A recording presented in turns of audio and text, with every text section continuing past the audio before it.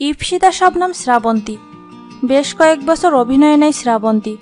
স্বামী সন্তানের সংসারকে প্রাধান্য দিয়ে তিনি অভিনয় থেকে দূরে রয়েছেন। যে কারণে দুই হাজার দশ সালে নুরুল আলম আতিকের ডালিম কুমার নাটকে অভিনয়ের পর আর কোনো নাটকে তিনি অভিনয় করেননি। এতদিন দর্শক এবং নির্মাতারা আশায় ছিলেন শ্রাবন্তী অভিনয়ে হয়তো ফিরবেন, কিন্তু সেই আশাতেও গুড়ে বালি এখন। বাংলাদেশের বিখ্যাত চলচ্চিত্র নির্মাতা মতিন রহমানের রং নাম্বার চলচ্চিত্রের মাধ্যমে ব্যাপকভাবে নজর কাড়েন তিনি। সুপার ডুপার হিট এই ছবির নায়িকা এখন বসবাস করেন যুক্তরাষ্ট্রে।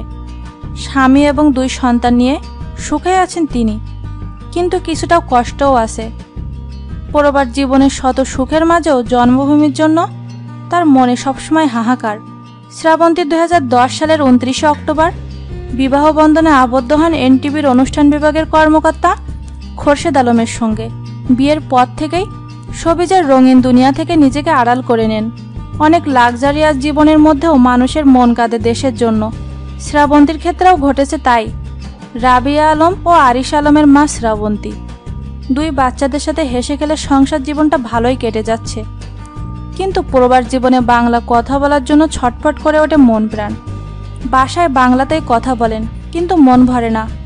শ্রাবন্তী সোশ্যাল মিডিয়া ফেসবুকে লিখেছেন, উফ, ইংলিশ বলতে বলতে মুখ ব্যথা হয়ে গেল। আমাকে কেউ বাঁচাও।